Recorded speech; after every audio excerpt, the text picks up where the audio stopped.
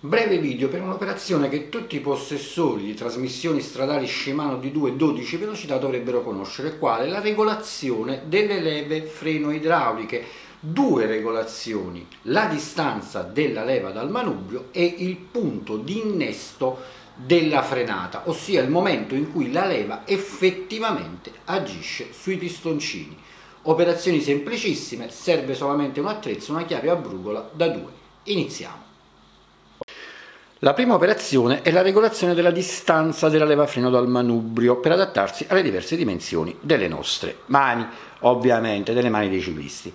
Dunque, brugola a vista facilmente, questa qui argentata che vediamo fare capolino da sotto la leva, si agisce con una chiave a brugola da 2, andando ad avvitare allontaniamo la leva, andando a svitare invece noi la possiamo avvicinare al manubrio.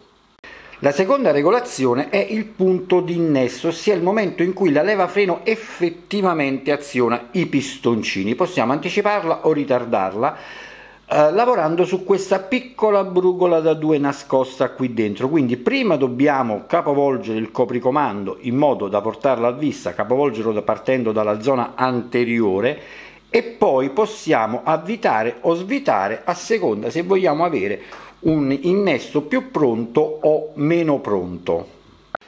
Infatti, come possiamo vedere, la piccola brugola agisce qui su questo sistema a vite che è collegato qui al punto all'attacco dei pistoncini, diciamo così.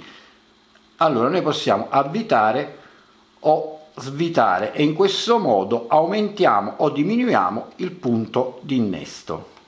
Come abbiamo visto è una regolazione estremamente semplice e veloce. Per quanto riguarda la distanza, beh c'è la comodità della brucola vista. Per quanto riguarda invece il punto di innesto, c'è semplicemente da sollevare il copricomando. Mi raccomando, facciamolo sempre con attenzione per non danneggiarli. Per riposizionarlo correttamente, nel caso in cui crei sempre quella grinza, un consiglio.